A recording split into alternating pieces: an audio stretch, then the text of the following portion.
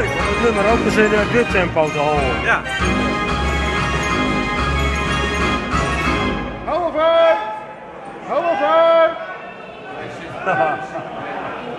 Hou!